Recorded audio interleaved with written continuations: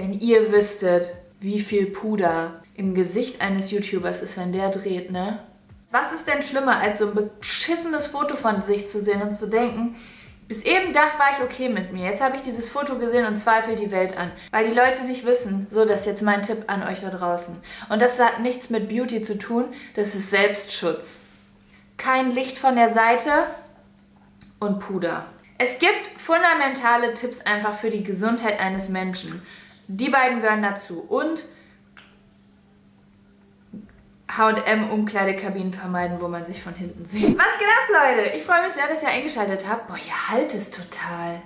Ich äh, greife heute mal auf ein richtig altes Konzept zurück. Und zwar, ich beantworte heute eure Fragen, die ihr mir gestellt habt. Fragen, die mir immer wieder gestellt werden. Fragen zu neuen Geschehnissen, über die wir auf diesem Kanal gesprochen haben. Und allgemein Fragen, die ihr mir auf Instagram gestellt habt wo ich euch heute nach Fragen gefragt habe.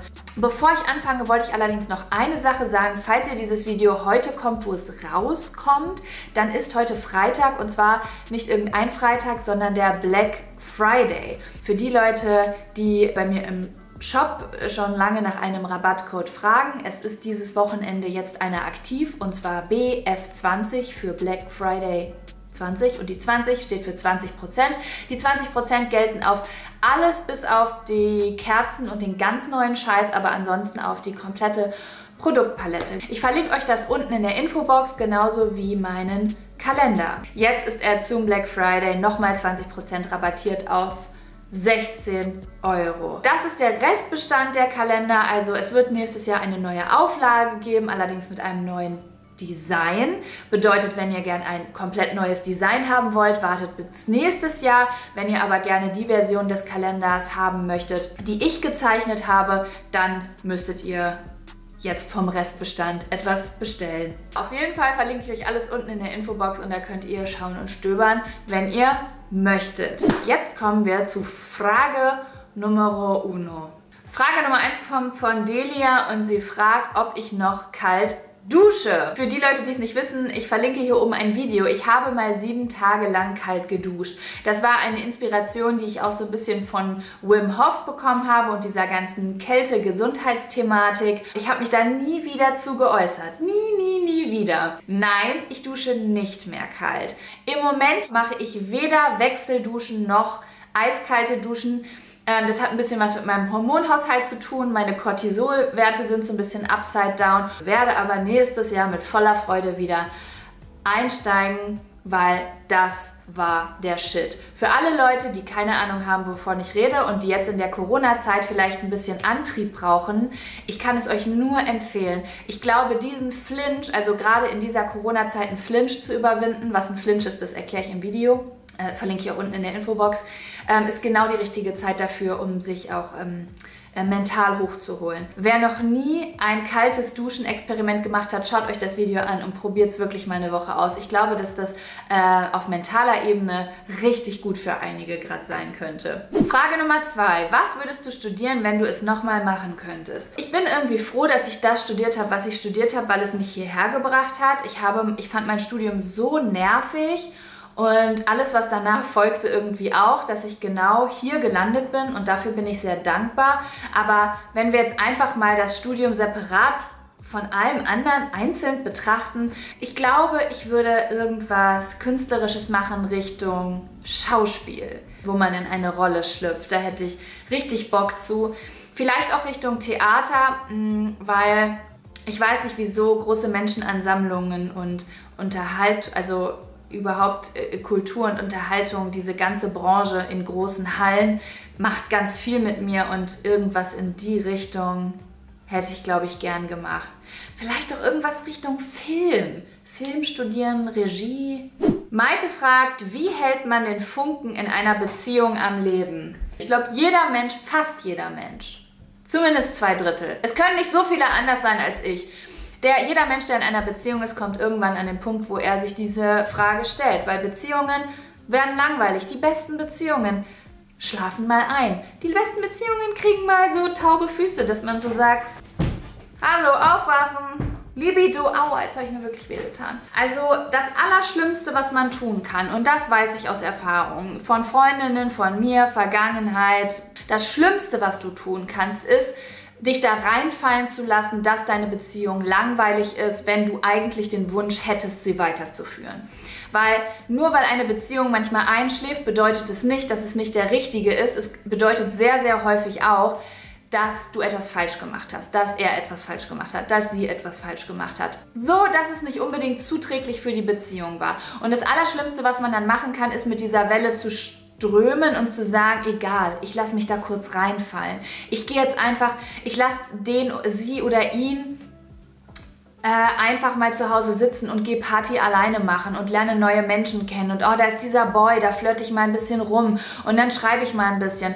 Das ist etwas, was ich richtig häufig ähm, erlebt habe, dass Leuten in Beziehungen super langweilig wird und sie die Aufregung dann im Außen suchen, um das innerhalb der Beziehung auszugleichen. Hm, und ich kann das ein bisschen nachvollziehen, aber das wird eure Beziehung komplett zerstören. Abgesehen davon, dass ihr damit äh, sehr, sehr schnell ganz, ganz schnell an eine Grenze kommt, die ein absoluter Vertrauensbruch ist und Gefühle auf der anderen Seite verletzt, wenn ihr eine monogame Beziehung führt. Ähm, werdet ihr noch mehr das Gefühl haben, dass eure Beziehung langweilig ist. Die Lösung liegt immer in der Beziehung zwischen euch und dem anderen.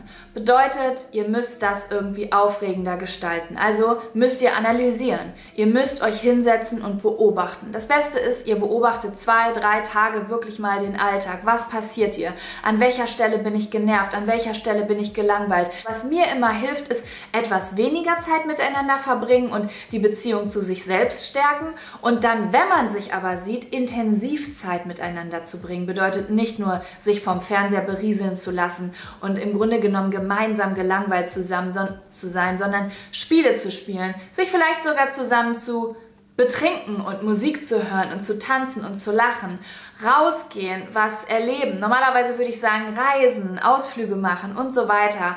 Ähm, wieder wirklich den anderen erleben, weil ihr trefft euch ja auch nicht mit Freunden und ähm, denkt so, ja, okay, wir setzen uns nebeneinander und starren auf den Bildschirm oder kochen zusammen und essen und hören dabei ein Hörbuch. Man sorgt eigentlich mit Freunden immer dafür, dass es irgendwie analytisch wird oder spaßig oder äh, irgendwie emotional oder cool oder interessant. Und äh, ganz oft vergisst man das in der Partnerschaft. Ich würde sagen, ähm, vielleicht die Quantity Time etwas runterfahren, dafür die Quality Time aber etwas hochfahren. Und ein bisschen schauen, was langweilt mich eigentlich und was finde ich eigentlich aufregend. Und das vielleicht auch mal den Partner fragen. Denn manchmal kann man sich ganz neu entdecken. Mhm. Und dann geht die Sexy Time wieder los. Denn man sagt so, oh, wer bist du denn? Und der andere sagt, oh, ich bin ich. Und dann mm, macht man eine Pyjama Party. Ja. Wo wärst du jetzt gerne? In Klammern ohne Corona. Ach, überall, Leute. Überall. Ich wäre jetzt gerne in Ecuador, glaube ich. Sandras Memories fragt, Stadt oder Land? Oh Gott, dazu habe ich mal ein ganzes Video gemacht, ne? Leute, weiß ich nicht. Das, ich entscheide mich jedes Mal wieder. Weißt, nein doch, ich habe jetzt eine Antwort. Ich habe jetzt eine Antwort. Stadt und Land. Ich bin ambivert. Tipp an dein Ich Anfang 20. Mach alles genauso weiter, wie du es machst. Passi geht gut ich habe das ja ganz gut gemacht. Ich glaube, ich hätte mit Anfang 20 jetzt nicht unbedingt einen Tipp aus der Zukunft gebraucht. Vielleicht würde ich sagen, mach mehr Sport. Lieber das krasseste Luxushotel oder campen in der schönsten Natur? Kann ich nicht beantworten. Ich weiß, alle Romantiker wollen jetzt hören, natürlich campen in der schönsten Natur, aber ich liebe auch Hotels. Ich liebe es, in Hotels zu sein. Ich war letztens gerade, also vor zwei Monaten, war ich eine Nacht in einem Hotel. Ich bin in die Lobby gekommen und ich habe solche Glücksgefühle. Es sind so, so manche Orte, Flughäfen, Bahnhöfe, ähm, Hotels und Freizeitparks. Oh, und so Räume mit so großen Bühnen, so Konzerthallen und Stadien und sowas. Aber das, das ist, das, oh, oder Berlin Mitte oder so am, an den Universal-Gebäuden. Alles, was groß ist. Ich liebe alles, was groß ist. Ich mag beides. Tabasco Gonzales schreibt, wann heiratet ihr? Ach, ja, du, da fragst mich was. Also meine ursprüngliche Idee war 2021. Ich möchte aber ganz ehrlich mit euch sein. Ich habe voll keinen Bock auf eine Hochzeit mit Masken. Ich will das irgendwie nicht.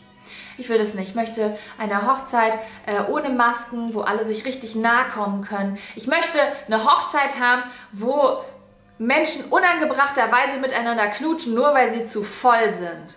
Also meine ursprüngliche Idee war 2021.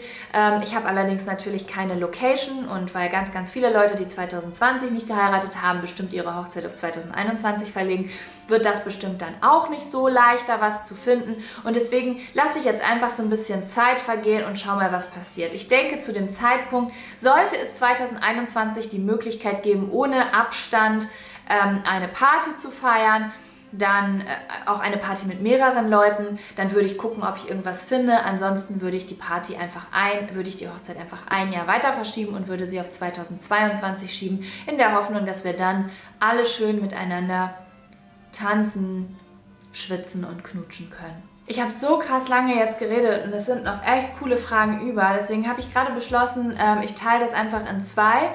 Ich verabschiede mich an äh, dieser Stelle von euch. Ich bedanke mich für eure Aufmerksamkeit, für eure Zeit, für eure Süßigkeit. Ich sage au revoir.